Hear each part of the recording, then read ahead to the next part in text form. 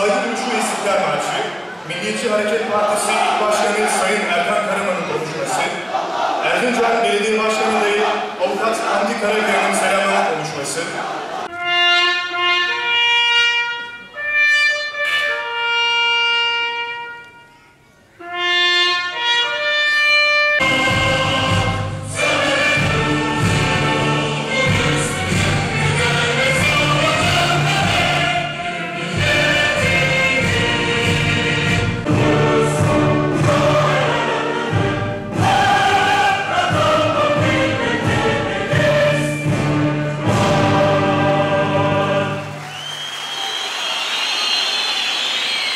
ederim.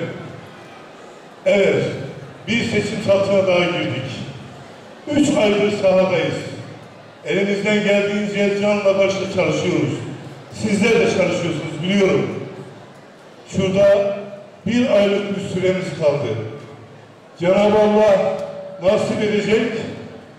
Bu bir ay süreyi de hep beraber geceli gündüzlü çalışarak yorulmadan, usanmadan, bıkmadan çalışarak inşallah 30 Mart'ta o ipi Milliyetçi Hareket Partisi kucaklayacak. önünde yazan Erzincanlı ve ülkücü kimliklerimle hep şeref duydum, hep onur duydum. Şimdiye kadarki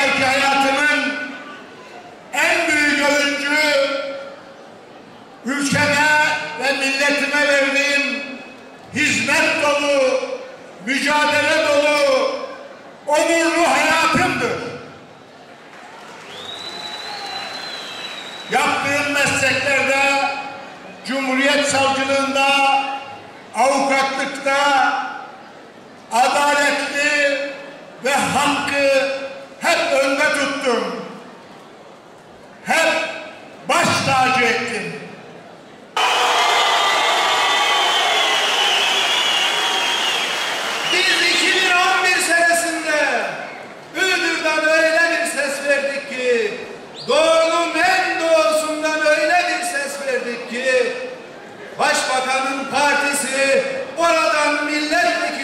çıkaramadı. Şimdi sıra Erzincan'da. Önce belediyeyi Allah'ın izniyle alacağız.